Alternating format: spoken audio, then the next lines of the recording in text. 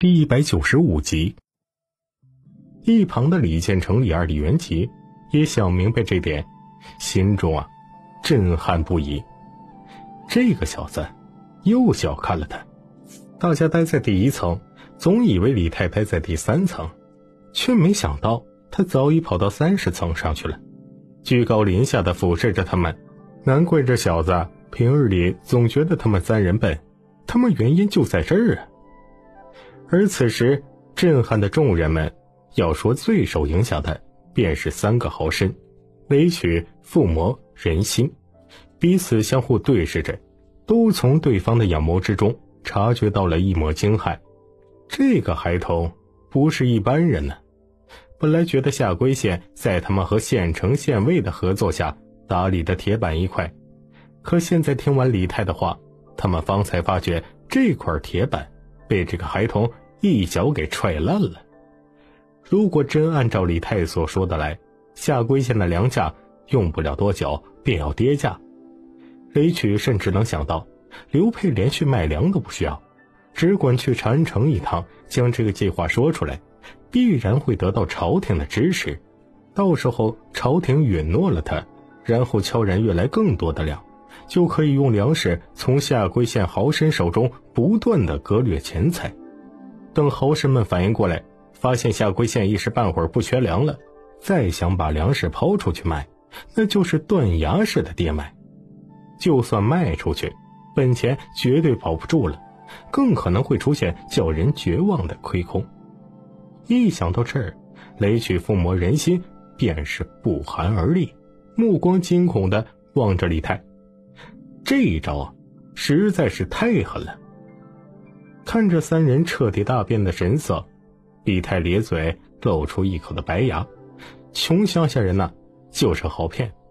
真应了那句话：只要唬得住，母猪也能爬上树啊。小郎君这话，这可谓是振聋发聩呀！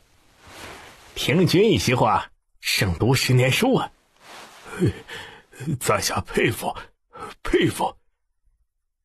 良久，三个豪绅感慨了一声，齐齐站起身，冲着李泰作揖到底。看着他们彻底改变的态度，李泰从刘培案牍上拿起还未用过的筷子，夹着身前案牍上的饭菜放入口中，一边嚼着，一边嗓音稚嫩道。其实你府上的酒菜也还算不错。雷曲赶忙举起酒樽，说道：“在下敬小郎君一杯。”李太摆了摆小手：“敬酒就算了，我年纪还小，不能碰酒色。”嗯，雷曲附魔人心，同时神色一怔。目光怪异的看着他，不碰酒就算了，干什么你还带一个色字？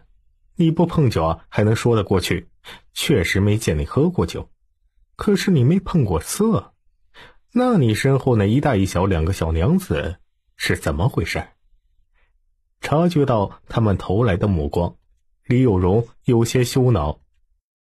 这个小皇帝说话就说话，别乱说行吗？算你个头啊！他们哪里知道，李太说的是真心话，但感觉到真心话好像没人信，李太就有些惆怅。他娘的，要是自己穿越回来，年龄是十六岁多好啊，偏偏穿回来只有八岁。世间多少事，就是这样慌着慌着就荒废了。那个，就在此时，刘佩忽然开口，眼巴巴的。看着三个豪绅道：“一千斗粮，什么时候给啊？”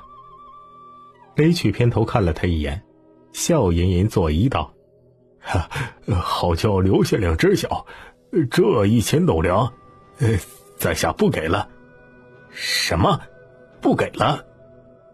刘佩闻言神色大变，怒然道：“你是想反悔？”“不 不不，刘县令误会了。”雷曲见他勃然大怒，赶忙摆了摆手，一脸耐心道：“哎呀，在下的意思是一千斗粮，对于下归县而言是杯水车薪。哪怕是将这些粮食交给刘县令，刘县令觉得他能有多大作用？在下愿意看在小郎君的面子上，出手将粮价压下来。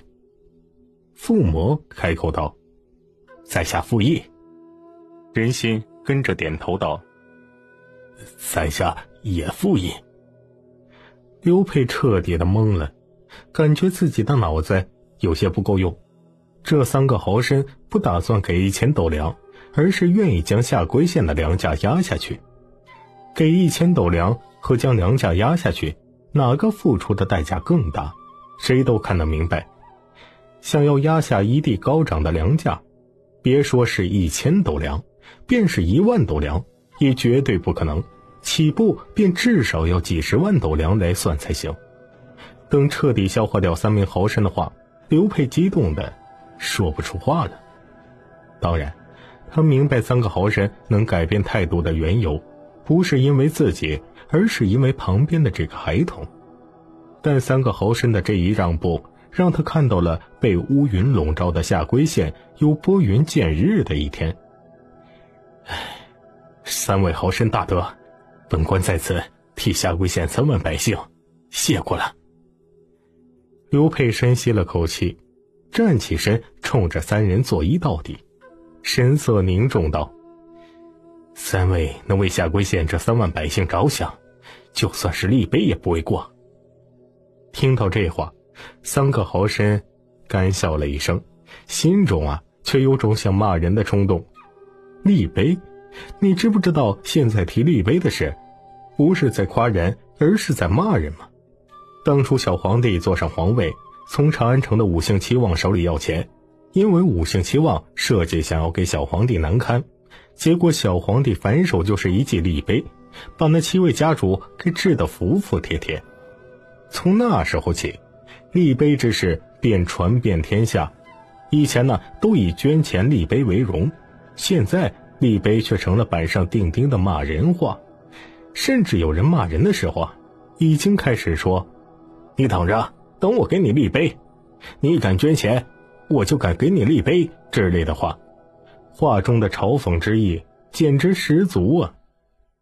李泰在一旁听得也莞尔一笑，尤其是结合到三个豪绅脸上的表情，就知道他们定然也听说过长安城乐石济公的事。放下手中的筷子，问道：“你们打算怎么将粮价压下来？”雷曲、附魔、人心顿时神色严肃了起来。雷曲沉声道：“好叫小郎君知晓，我等三人府上的粮食，只要倾销下去，便足以将粮价降下来。能降多少？”李太好奇道：“能降到十五文钱一斗吗？”呃，这。雷曲有些尴尬，附魔人心同样一脸的无奈。人心一脸耐心道：“小郎君有所不知，这粮价我们就算是有心让它跌到十五文钱一斗，可是却没有那个能力。真若是掉到十五文钱一斗，且不说我们亏损多少，一旦风声传出去，临县各地啊都会有豪绅来买，那时候小郎君的初衷……”怕是要被他人利用啊！不怕亏损，而是担心连县有豪绅收购买卖，说明还算是有良知。厉太笑吟吟的看着他们道：“这个办法很好解决，我给你们出一个主意。你们且先将自己手里的粮用一天时间。”以稍微低一些的价格先卖给邻县，这样你们不仅不会亏损，而且还有的挣。韦曲、附魔、人心颔首，随即侧耳倾听他继续说。李太停顿了一下，随即继续说道：“再者，你们将从邻县买卖来的钱。”以刘县令的名义，拿官文去长安城皇家粮市，以十五文一斗的价格买粮，运到下归县以后，再以五十五文的价格卖出去。这样，你们还能从中再赚四十文钱。若是临县有豪绅想买，就让他们买，他们敢买多少，你就卖多少。然后将盈利的钱再以刘县令的名义，去长安城皇家粮食继续买粮，买到的粮食继续按照五十五文钱卖。这时候临县应该会察觉到问题，就会有所收手。一旦他们收手，下归县的粮食就会供大于求，粮价自然会跌落下来。这个时候，你们的动作不能停，从下归县开始辐射其他邻县。有哪些邻县在下归县买过粮的，你们就去那个县卖粮，这样。其他县的粮价也会掉下来。李泰笑着道：“要知道，长安城的粮食若是没有特殊渠道，是不能运出长安的。这是长安城现在能稳住粮价的原因。而你们三人不一样，依仗着刘县令这棵大树。”你们想从长安城拿走多少粮食，就能拿走多少，不会有人阻拦你们。横看竖看，你们都不会赔一文钱。但其他人不一样，其他地方的豪绅若是想要以这种方法去长安城买粮。那粮食就会砸在他们手里，他们定然不会这样做。如此一来，你们能获得高额利润，同时也能获得名声。